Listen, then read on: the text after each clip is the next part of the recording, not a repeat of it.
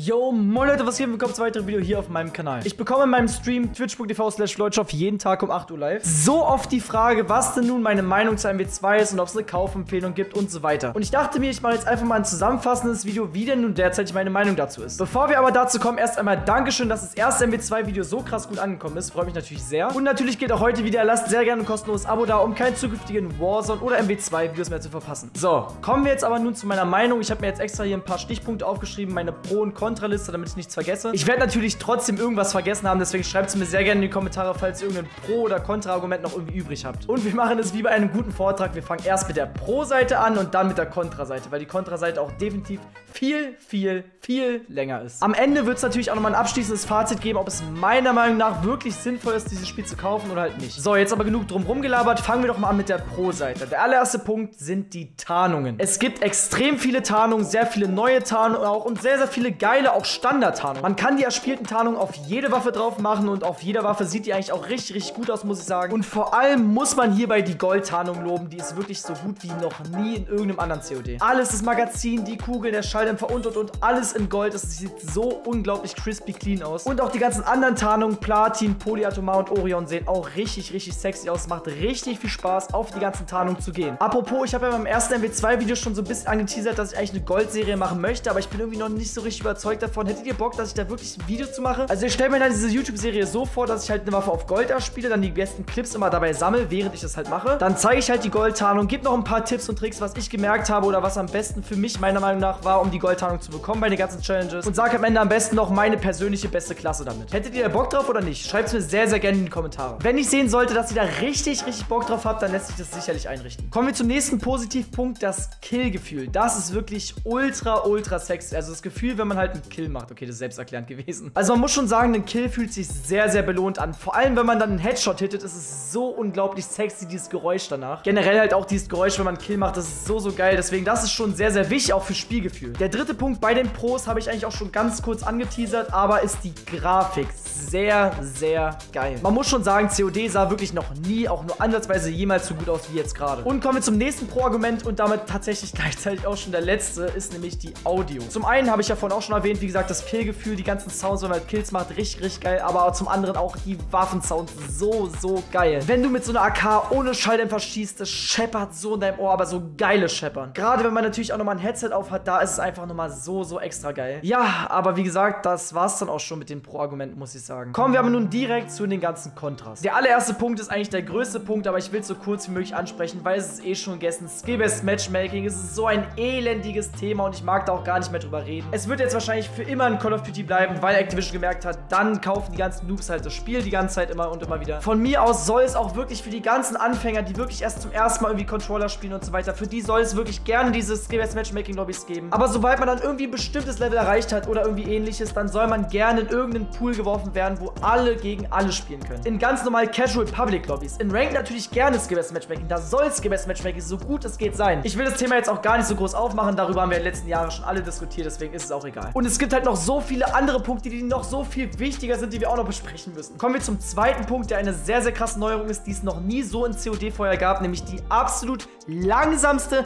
Aim-Down-Side-Time. Also wie langsam man ins Visier geht mit der Waffe, sowas gab es noch nie in irgendeinem Call of Duty. Es ist so unglaublich langsam. Es ist wirklich nicht mehr normal. Man geht ja schon sehr langsam ins Visier, wenn man einfach nur ganz normal ins Visier geht. Dann geht es ja nochmal noch langsamer ins Visier, wenn man im Sprinten ins Visier geht. Dann, wenn man im Taktik-Sprint dann ins Visier geht, dann geht es extrem langsam ins Visier.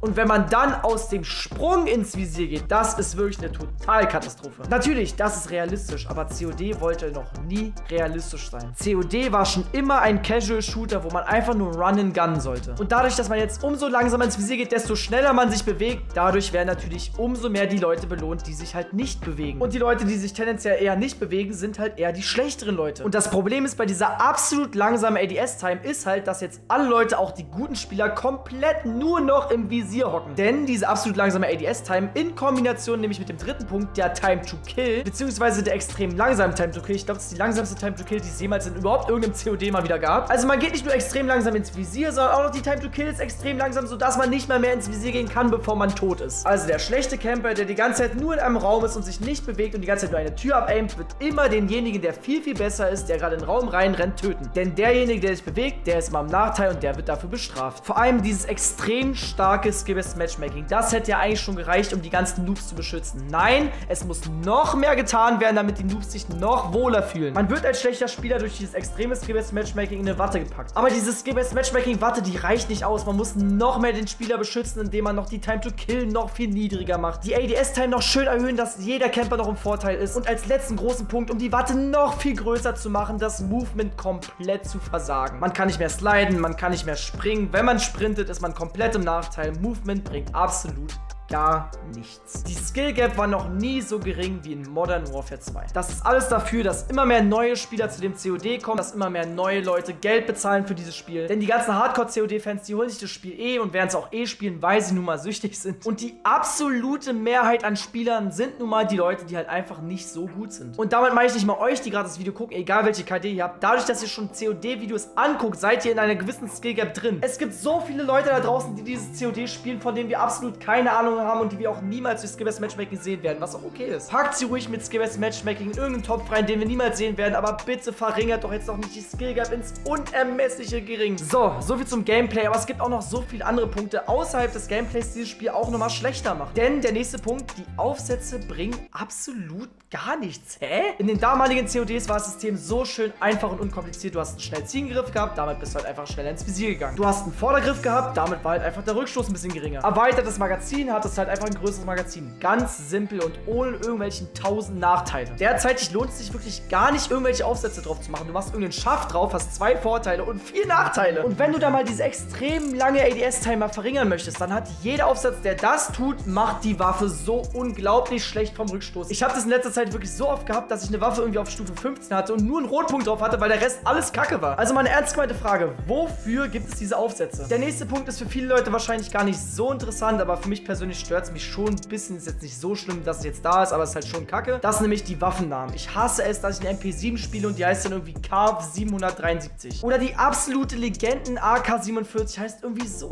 komisch. Ich weiß nicht mal, wie sie heißt. Das wird halt daran liegen, dass Activision die ganzen Lizenzen dafür nicht bekommen hat, aber ich denke mal, die haben wirklich genug Geld, um es halt eigentlich zu holen. Das Problem ist halt wahrscheinlich, dass die Lizenzen halt Geld kosten und sie halt kein Geld bringen. Ist jetzt, wie gesagt, nur ein kleiner Punkt, aber ich wollte es trotzdem auch mal erwähnen. Was aber wiederum absolut gar kein kleiner Punkt ist, sind die ganzen Game Crashes. Egal ob PC oder Konsole, es ist grauenhaft. Ich möchte gar nicht wissen, wie oft mein Game schon abgestürzt ist und ich möchte vor allem nicht wissen, wie schlimm es auf Konsole ist. Es gibt auch so viele Bugs, als hätten sie dieses Game irgendwie erst vor einem Jahr oder so angefangen zu produzieren. Alleine, dass man nicht mehr in einer Vierer-Party zusammenspielen kann, das Normalste der Welt in COD. Dann fängt bei der Lobbysuche an, das Game zu crashen. Oder wenn man in den Klasseneditor geht, wie man eine Lobby sucht oder so, es fängt immer wieder an, das Game zu crashen. Die nächste Sache, wie das Game für PS4 rausgekommen ist, ist ja wirklich bodenlos. Du hast einfach keine Sounds, wenn du irgendwie eine Tür aufmachst, gegnerische Steps oder Granaten, die explodieren. Ja, es ist Old Gen und vielleicht schafft es die Konsole nicht mehr, aber dann bringt das Game wirklich nicht so für die PlayStation 4 raus. Eine andere Sache, die auch das Normalste der Welt in jedem COD war, dass man die KD nachgucken konnte. Das gab es schon immer in jedem COD, sogar in den Betas gab es es, glaube ich. Wie kann es eine so für COD normale Sache einfach nicht geben? Apropos für COD eine völlig normale Sache, die es bisher immer gegeben hat. Hardcore-Modus. Wo ist der? Wie kann es bitte zu Release keinen Hardcore geben? Und ich weiß, da draußen spielen sehr viele Leute sehr gerne Hardcore. Wo ist da bitte die Begründung? Wie gesagt, das Game ist nicht erst vor einem Jahr produziert worden. Auch noch kleine weitere Kontrapunkte sind, die jetzt nicht so spielenschein sind, sage ich mal, aber die trotzdem sehr nervig sind, dass sie nicht da sind. Man kann keine Waffenbaupläne speichern. Es gibt irgendwie 100 verschiedene Aufsätze bei den ganzen verschiedenen Waffen. Und dann kann man nochmal jeweils jeden Aufsatz tunen zu einem bestimmten Grad. Geht zwar gerade nicht, weil es buggy war und nicht funktioniert hat, aber rein theoretisch könnte man nochmal jeden einzelnen Aufsatz tunen für jede einzelne Waffe. Ja klar, ich merke mir gerne für 51 verschiedene Waffen, welchen Griff ich wie tunen muss. Natürlich. Eine weitere Kleinigkeit, die es auch vorher in jedem COD gab, man kriegt einfach keine Fortschrittsbenachrichtigung, wenn man irgendwie eine Tarnung oder so erspielt hat. Das ist doch sowas Selbstverständliches für COD. Ich verstehe es einfach nicht. Man kann nicht mal sehen, wie lange man noch Doppel-XP hat. Und als letzten abschließenden Punkt sind die Maps. Dazu sage ich einfach gar nichts und lässt einfach nur diesen Clip für mich reden.